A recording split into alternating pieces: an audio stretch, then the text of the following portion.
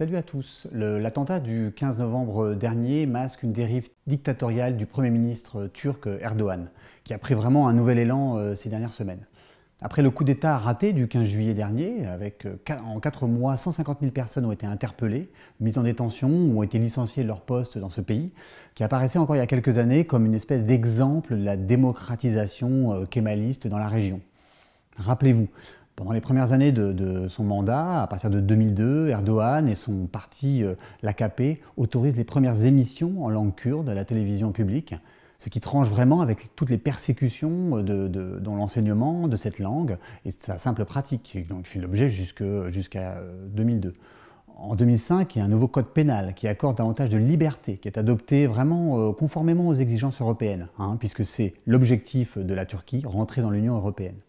Et le 3 euh, octobre 2005, euh, c'est les négociations pour cette adhésion qui débutent. En conséquence, la Turquie modifie radicalement sa constitution pour remplir tous les critères fixés par l'Union européenne. L'armée perd une large part de son emprise qu'elle maintient sur les institutions et la croissance économique est spectaculaire. L'AKP est réélu triomphalement à chaque élection. Bref, la démonstration semble faite qu'un parti islamiste, hein, pourtant, favorable à l'économie de marché, regardant vers l'Occident, est possible et compatible avec une adhésion dans l'Union européenne. Mais en 2007, la Turquie, qui a pourtant fait de très gros efforts hein, pour se complaire à cette Union européenne, reçoit un camouflet de la part de Sarkozy, qui empêche les discussions sur son intégration politique, économique, mais aussi monétaire. Euh, il déclare d'ailleurs que élargir l'Europe sans limite euh, risque de la détruire. L'Europe doit se donner des frontières, que tous les pays n'ont pas vocation à être membres de, de l'Europe, et commencer par la Turquie, qui n'a pas sa place dans l'Union européenne.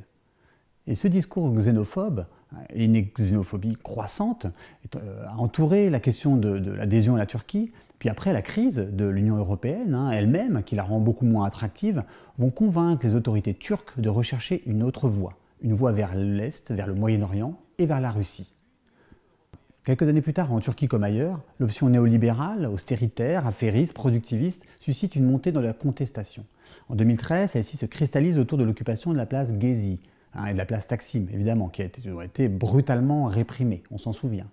La même année, des magistrats, des policiers courageux procèdent à l'arrestation de dizaines de dirigeants d'entreprises, d'élus proches du pouvoir, impliqués dans un vaste système de corruption à très grande échelle.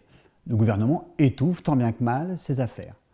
En 2015, c'est dans les urnes que la contestation se manifeste, puisque le parti très progressiste, hein, procure de le HDP, fait élire 59 députés, plus de 5 millions de voix. Parmi ces élus, on a des militants LGBT, des représentants des minorités ethniques, des Arméniens, mais aussi des Kurdes. Et là, ça passe plus. Erdogan répond avec une alliance renforcée avec l'extrême droite nationaliste, d'une part, et puis aussi la frange ultra-islamiste de son électorat. Et du coup, il met un terme au processus de paix au Kurdistan turc, déclenché deux ans plus tôt. Il déploie 10 000 hommes dans l'est du pays, impose le couvre-feu à près d'un million et demi de personnes, bombarde, assiège des villes kurdes, destitue les maires kurdes et pourtant qui étaient réellement réélus régulièrement.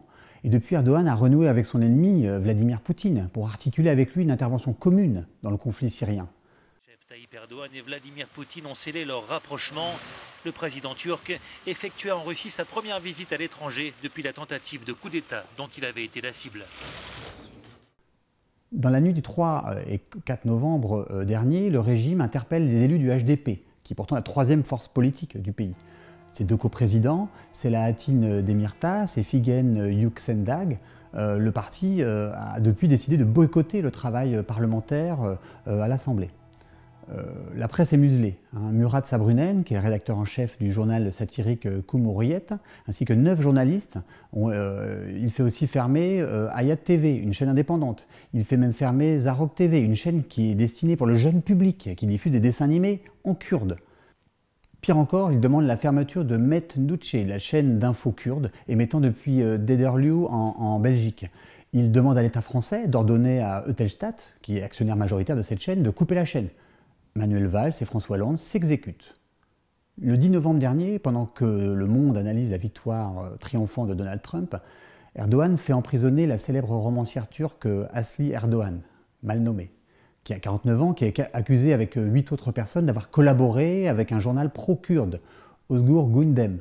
Elle est condamnée à la prison à vie, alors que même que son dernier roman, Le bâtiment de pierre, qui est paru en 2013, décrit les conditions de détention en Turquie. on est en plein Midnight Express. Le conflit en Syrie et la crise de l'Union européenne ont précipité la dérive fasciste du président euh, Erdogan, signe supplémentaire d'une rupture avec l'Union européenne. Erdogan promet même le rétablissement de la peine de mort, qui était un des critères de l'entrée dans l'Union. Pourquoi un tel coup de sang de la part d'Erdogan? D'après le politologue Bayram Balchi, le coup d'État militaire de 2013 qui avait entraîné la chute de Mohamed Morsi en Égypte, suivi de la condamnation à mort, a été vécu comme un traumatisme pour lui. Pour, Erdogan, son sort est lié à celui de Morsi. Il est persuadé que s'il s'affaiblit, il subira le même destin. Pourtant, le silence de l'Union européenne, qui a besoin de la Turquie pour euh, contenir les réfugiés syriens, euh, est éloquent. Ce, silence nous montre une chose. Simplement, l'Allemagne a demandé de cesser les arrestations politiques. La France, pour sa part, continue de donner des gages à la Turquie euh, dont elle a besoin dans le conflit syrien contre Daesh et à qui elle vend régulièrement des armes. L'Union européenne Hey, l'Union européenne, tu ne veux pas de nous parce que la grande majorité de notre population est musulmane. On ne peut pas compter sur toi. Nous sommes parvenus à un accord. Tout était écrit. Vous ne tenez pas vos promesses. C'est votre visage hideux. Et quand Erdogan vous montre ce visage hideux, vous devenez fou. C'est pour ça que vous prévoyez de vous débarrasser d'Erdogan.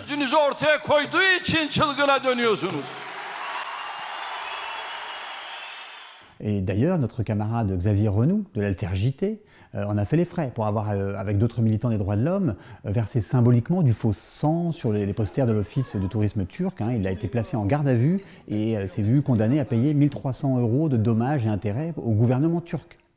D'ailleurs, si vous voulez euh, l'aider, n'hésitez pas à aller sur le site euh, des désobéissants, puisqu'il euh, faut maintenant payer cette amende.